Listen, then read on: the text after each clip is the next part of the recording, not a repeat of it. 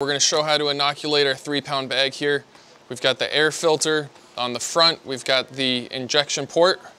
To start with, we're gonna take some 70% isopropyl alcohol. We're gonna spray that port, and then we're gonna wipe it gently with nice clean paper towel. I like to spray it again just to have some uh, ISO on there for when we do the injection. Having a little bit of alcohol on there won't hurt. It's good to get some alcohol on your hands too. If you've got gloves, you might as well wear them. You don't have to have gloves on though. All right, so we're gonna get our syringe prepared. We're using some shiitake today. You're gonna take your sterile needle.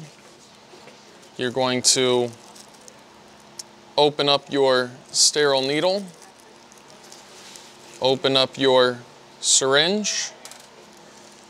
Connect the two remove the cap, then quickly insert it into the grain bag.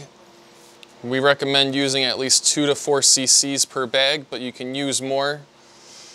It won't hurt anything. It's good to move the syringe around while you're inoculating.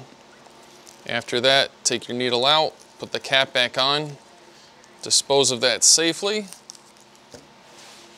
Then you can take your bag, cover it up like so, prevent any moisture from leaving the bag, and that's it, you're done.